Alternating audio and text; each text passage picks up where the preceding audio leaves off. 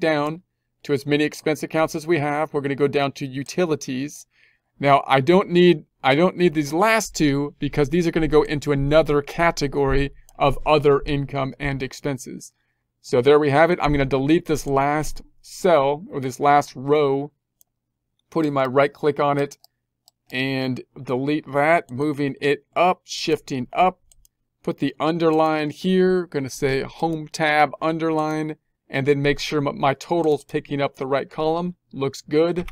So if I double check my numbers here, if I went from the income down to cost of goods sold, that should give me my gross profit.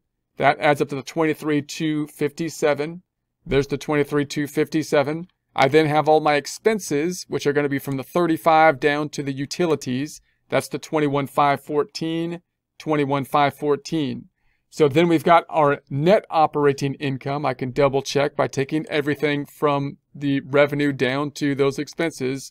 1743 so that's the 1743 here, which was my gross profit minus these expenses. And then we've got our other income and expenses, these being income and expenses that aren't part of normal operations that I'm going to put down in this other category. We're combining both the income and expenses. So I would like the income to be going up, positive numbers, expenses to be going down.